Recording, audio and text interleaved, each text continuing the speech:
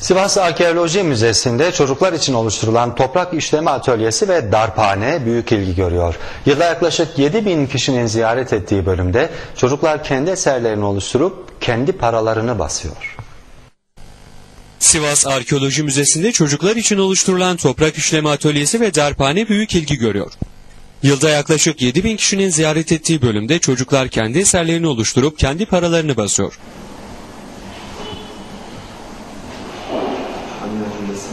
Sivas'ta birbirinden değerli 12.500 eserin sergilendiği arkeoloji müzesini ziyaret eden çocuklar için 2009 yılında çocuk bölümü yapıldı. Çocuklar müzede sergilenen eserleri sonra toprak işleme atölyesinde kil ve oyun hamuru ile eserlerin benzerlerini yapıyor.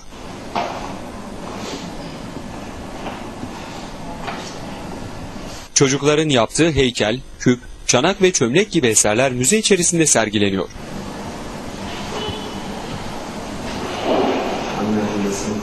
Çocuklar ayrıca kendileri için oluşturulan darphanede antik dönemdeki gibi örs ve çekişle para basıyor.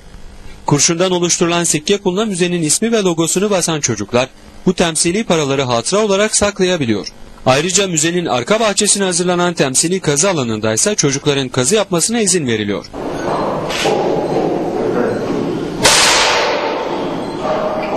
Müzenin çocuk bölümü hakkında bilgi veren arkeolog Adem Bedir, çocuk eğitim alanının işleyişi hakkında bilgiler verdi. İlimizde Arkeoloji Müzesi e, 2009 yılı Nisan ayında hizmete açılmış ve e, içerisinde bulunduğumuz çocuk eğitim alanı da 2009 yılında Arkeoloji Müzesi'nin açılmasıyla birlikte faaliyetlerine başlamıştır. Çocuk eğitim alanının oluşturulmasındaki amaç e, müzemizi ziyaret eden çocuklarımızın sadece tarih eserleri görüp geçmekten ziyade müze bilincini uyandırmak ve müzelerin sadece gezilip ziyaret edilecek yerler olmadı. Aynı zamanda çocuklarımızın bir eğitim yuvası olduğunu göstermek amacıyla düzenlenmiş ve e, geçen zaman zarfındaki 4 yıllık e, periyotta bunun karşılığını da fazlasıyla almış bulunmaktayız. Çocukların müze ilgisini artırmak için yoğun gayret sarf ettiklerini belirten Bedir, tüm okul yöneticilerini, öğrencileri ve aileleri arkeoloji müzesini gezmeye davet etti. E, Şu görmüş olduğumuz, şurada görmüş olduğumuz e, materyallerden çocuklarımızın müze konusunda ne kadar duyarlı olduklarını gösteriyor. İlerleyen zamanlarda e, çocuklarımız ilerleyen zamanlarda müzelere bakış açısı, bilinci daha da ileri seviyeye geleceğinden müzelerin tanıtılması, çocuklarımızın gelişimi ve tarihi dönemlere e, olan ilgisini daha da artıracaktır.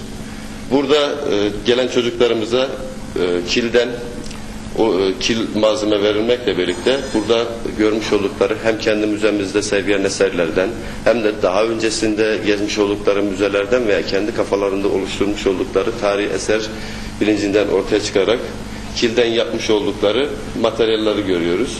Aynı zamanda sadece kil kullanılmamakla birlikte burada e, gördükleri, hayal dünyalarında geliştirdikleri tarihi eser veya işte tarih dönemler, tarih öncesi dönemlere ait, fosil kalıntılarına ait e, karşı duvarda görmüş olduğumuz e, yağlı boya ile yapmış oldukları resimleri görüyoruz.